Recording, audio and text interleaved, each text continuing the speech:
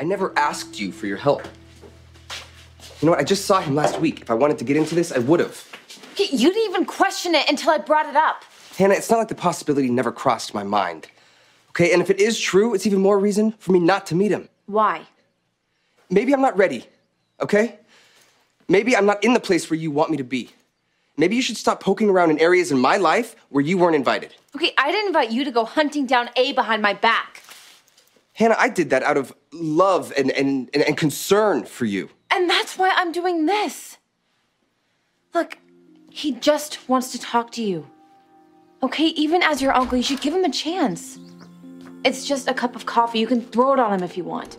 You know what? You go, okay? He had a lot of days where he could have made this choice, and he didn't. Instead, he let me grow up on my own. And that's where I am. I'm grown up, and I'm on my own.